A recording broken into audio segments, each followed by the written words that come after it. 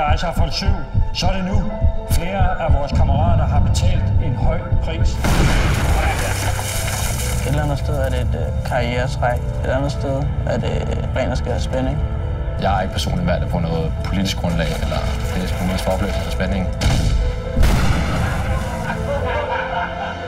Det ville være skide hammerende ærgerligt at komme hjem uden, øh, uden benet, for eksempel. Ikke? Men igen, altså, man kan lave masser af ting uden ben, ikke? Det er du rigtig meget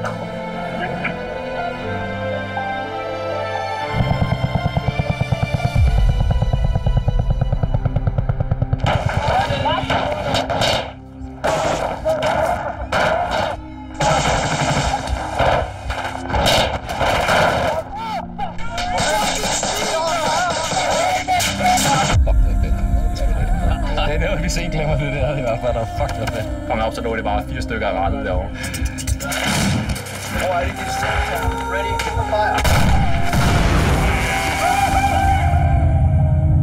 Jeg kom ned med den holdning, at krig koster os civiltab. Men da det så endelig skete for mig, så er det lige pludselig noget helt andet.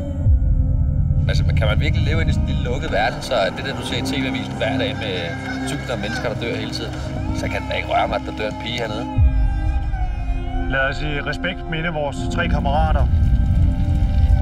Øjensynligt er der nogen, der har ringet hjem og fortalt, at vi har likvideret sårede talibanere.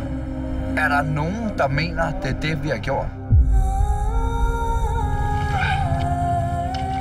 Vi har pligt til at fortsætte ufortøvet, når nationen nu engang har udstukket den politiske linje, som den har.